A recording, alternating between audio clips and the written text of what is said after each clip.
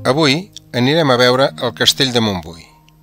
Per anar-hi prendrem la carretera C59, en el tram que va de Caldes fins a Sant Feliu de Codines. Abans d'entrar a aquest darrer poble, trencarem a la dreta per anar a buscar a l'avinguda del castell de Montbui, carrer que no deixarem fins en arribar al nostre destí. Arribarem a una esplanada que ens quedarà a la dreta. Allà deixarem el cotxe i prendrem un camí que surt pel seu costat tot pujant cap dalt del turó. Tot caminant, si ens tombem, podem veure a la nostra esquena els cingles de Sant Sadurní. I més endavant, a l'esquerra, enmig del bosc, aquest curiós pi que creix d'una forma ben enrebaçada. A la poca estona, per sobre nostra, entremig dels arbres ja es comença a deixar veure el castell de Montbui. Uns metres més enllà, ja prenent l'última curva, a l'esquerra veiem l'absis de l'ermita de Sant Mateu de Montbui. Aquesta església preromànica ja és esmenada l'any 1058 i fou parròquia del poble que portava el seu mateix nom. El temple és d'una sola nau rectangular coberta amb volta de canó, capçada per un absis interiorment de ferradura i exteriorment semicircular, el qual està cobert amb una volta esfèrica. La porta és a la façana de Ponent, on a sobre hi ha un ull de bou i el campanar és de cadireta. En arribar al dalt del turó, a part de l'església, ens trobem al davant amb el preciós castell de Montbui, el qual és d'origen romànic i en tenim les primeres referències l'any 987.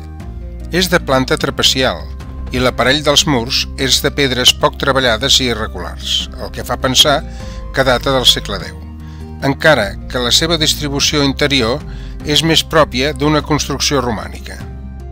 La porta principal de la fortalesa estava situada al mur sud i, pel que sembla, tot el castell estava envoltat per una muralla. Entrant per aquesta porta, al fons s'hi troba el mur nord, on podem veure el mode de construcció amb opus spicatum. Aquesta manera de posar les pedres es feia servir en època romana i medieval. Aquí hi havia una gran sala i a la dreta, al costat de ponent, una cambra coberta, la qual podria ben ser una cisterna. Entre el 1308 i el 1331, el castell fou reconstruït, prenent la forma que veiem actualment. L'any 995, el castell fou infeudat a Gombau de Besora, el qual, en morir l'any 1050, el deixà a la seva filla Gisla. Aquesta estava casada amb Mir Geribert, autoanomenat príncep d'Olèrdola i enemic de Ramon Berenguer I, el qual es negà a deixar fet el traspàs, fins que l'any 1059 varen fer les paus, i el comte donà a Mir Geribert les terres que formaren la baronia de Montbui.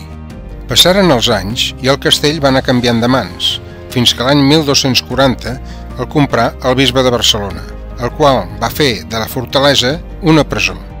A finals del segle XIV, el castell i la baronia passaren a mans del rei Martí, el qual els vengué a Ramon de Torrelles, senyor de la Roca, seguint dins del seu llinatge fins al 1490, any en el que es traspassà en els consellers de Barcelona, tot mantenint la baronia fins a arribar als fets de 1714, que passà a mans de la corona i per ordre dels Borbons fou enderrocat, al igual que la majoria de fortaleses catalanes. Com podeu veure, des d'aquí dalt gaudim d'unes bones vistes, però ja ha arribat l'hora de tornar sobre les nostres passes cap al cotxe. Espero que us hagi agradat la visita al castell de Montbui. Fins a la propera!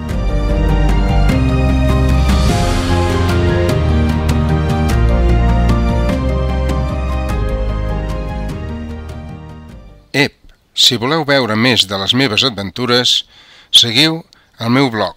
Es diu Racons de Catalunya. Coneixereu i trobareu la manera d'anar amb facilitat a meravellosos llocs de la nostra terra. Catalunya.